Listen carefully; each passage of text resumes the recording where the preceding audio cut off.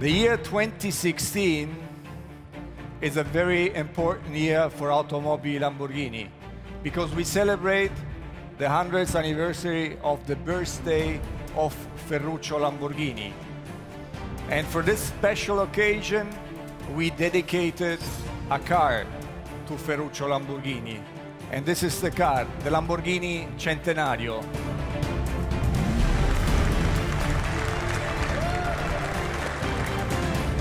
This car, the Lamborghini Centenario, is the perfect mix of tradition and innovation.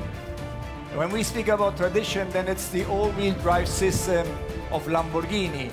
It's the naturally aspirated V12 engine.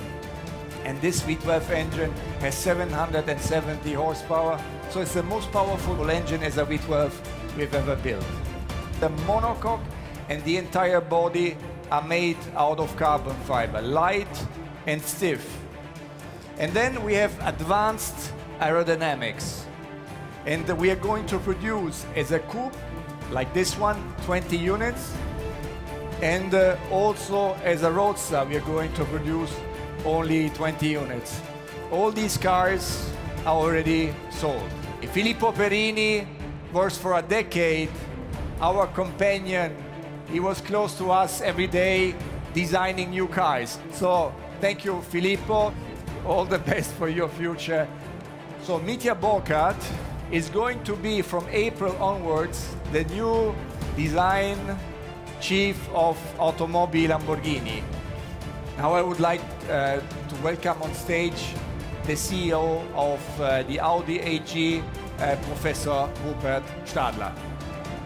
You all are aware that uh, Stephan Winkelmann will join us at Audi.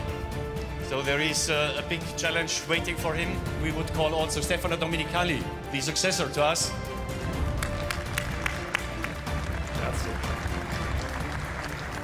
Ladies and gentlemen, please, I would like to welcome on stage now the first line of the first levels of Automobili Lamborghini.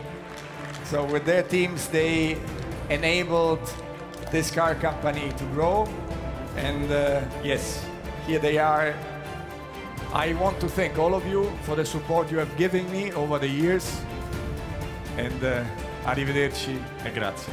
grazie.